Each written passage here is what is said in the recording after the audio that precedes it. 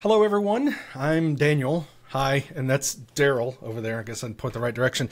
Um, Microsoft recently announced some exciting functionality, and we really just wanted to talk about it in a way that uh, we can help you understand what it is, and that's Copilot Pages. And um, how can we uh, explain it to you and what we know now uh, before your users get their uh, hands on it?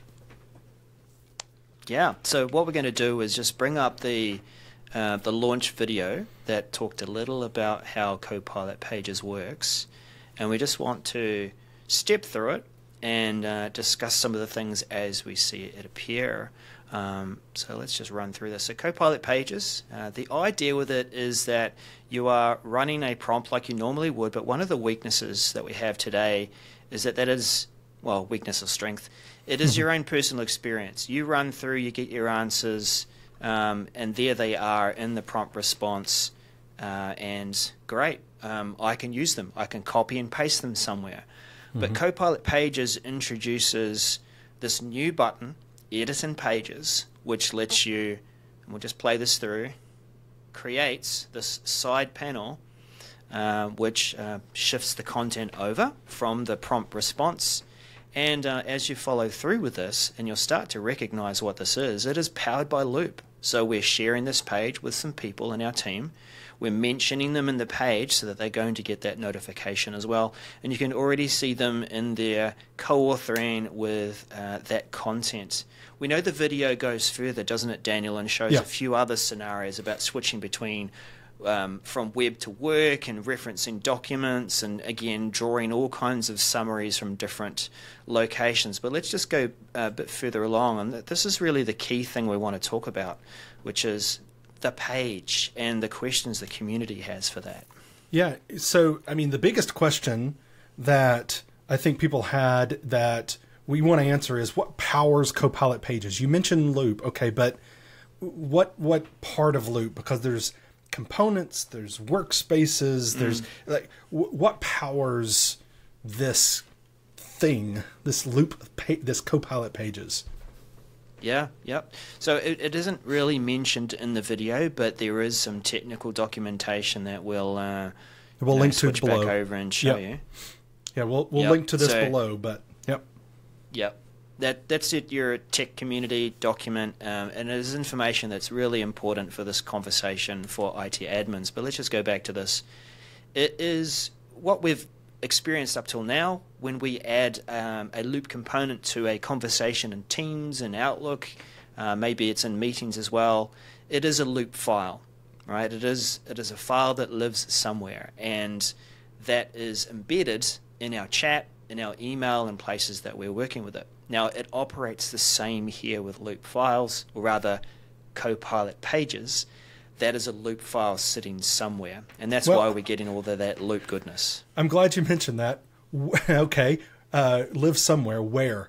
Where are these loop files stored? And you talked about sharing. Who who has access? Um, mm. You know, hmm. when we um, create these as Copilot pages. Right, so the loop components we add to those other places we work, Teams, chats and files and, and um, emails, um, those are stored in our OneDrive, the OneDrive we can get to, where we can go in and see my files. And for each of those applications, they have usually have a folder there where an attachment is stored, and in this case, it's a loop component. Well, this is different. This is actually shifting now into something new, and this is where that IT article, um, tech community article goes, goes into a bit of this detail, Daniel. Um, where it might have traditionally been stored in a OneDrive, the simplest place to share content with an ad hoc audience, you know, one that isn't necessarily in your team. You just want to invite people to it.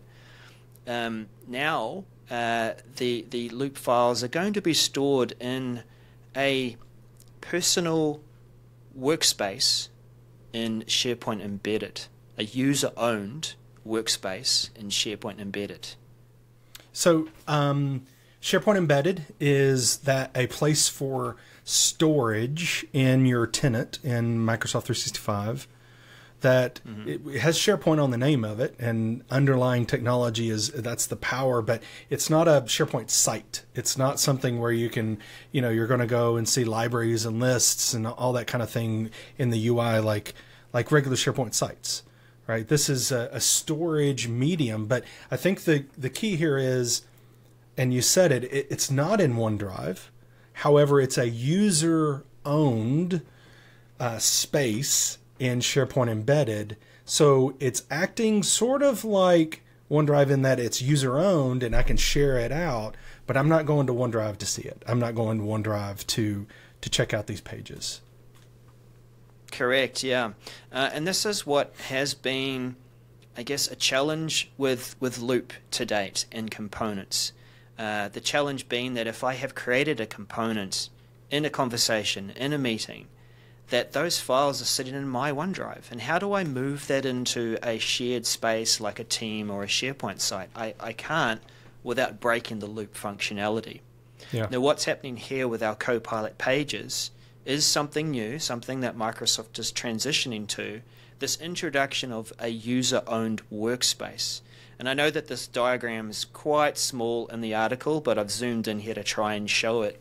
Um, that there is this dotted line that shows where SharePoint embedded starts. And over here on the right, we have where the um, Loop workspaces normally would be, or they are now. Mm-hmm. That is a, a workspace that you invite people to. What's new is this user owned space in SharePoint embedded that will be used for these on the fly ad hoc collaboration needs that is going to be um, yeah, it's in the same space really as where yeah. your workspaces are for Loop. Yeah, absolutely. Um, you know, and, and this this is people need to understand this. It's not going to you're not going to be in OneDrive looking for these files. The way it's going to be found is actually an admin center, um, in in the admins being able to see where these user owned um, SharePoint embedded um, workspaces are. So. Uh, I, think that's key and something that people are asking a lot of questions about. Like, what is the story of? Okay, it's a user-owned space. How does it become, mm. if if it can, how does it become a team-owned space or a workspace that is owned um, outside of this user context? And you know, I would say my my thoughts. It, it, it doesn't seem there is a story there right now at being able to do something like that that doesn't break you know the flow of of um, uh, the loop functionality, right? Correct. Yeah, and and I agree with that analysis. At the moment, we we don't see that and we don't know it. But but I would say that looking at, at the reason why they're creating this user owned workspace mm-hmm. would be that in future we should expect to see the ability to move a loop yeah. page, a Copilot page in this case, into a shared workspace uh, with a team without um, it so losing any functionality. Step. Yeah, yeah, yeah. With, with, this is the first step to it. Whereas today, if I take a loop component and I can literally move that file just like I can with a Word doc or an Excel doc, I can move it from my OneDrive in into Teams, and it will still work the same way. With yep. a loop component, I can move the file, but it no longer embeds. So I've got one last question for you. Um, and it's a doozy, which is you know we have these you know sh- these copilot pages which are loops great. How can they be governed? Can they can we apply retention? Can we you know put sensitivity labels? You know uh, how you know how will purview work with this content? Um, is that is that something uh, you know, everybody's asking these questions. Is that something that it will um, be uh, enabled with our compliance scenarios? Yeah, absolutely. Um, this is something that the Loop team has been working towards to enable, for example, the um, retention labels. Uh, so those have come, I believe they've come, or if not, they're, they're very close. Uh, so that means that being able to apply those labels, uh, you will get to leverage all of the different policies and things you've put in place for other content and other places in SharePoint. You'll be able to, um, you know, say I want to retain this for a certain period of time. I want to treat it this way for a certain period of time. Yeah. I want to p- apply this level of security across it. Uh, and so that's why it's been so important for them to work towards this to give large organizations that, that level of comfort that it will be managed yeah. in the same way, even though the content is sitting in SharePoint embedded. Yeah, and it and I like this on this uh, page again, link down below. This talks about what is available now and what's coming in Q4 of 2024. Um, check out that information as well on the on the the page, um, and to to learn how we can you know govern it because I think it's a it's a big deal and it's a big topic people are asking about. Thank you Darrell for jumping in and having a quick conversation with me uh, to really help people understand what these Copilot pages are, what's powering them, you know where they are, who has access, and how we can govern it uh, moving forward from an IT uh, perspective and, and, an admin perspective. So, uh, greatly appreciate your time. Thank you for uh, jumping in with me. Appreciate it. You're welcome. See you again, everyone.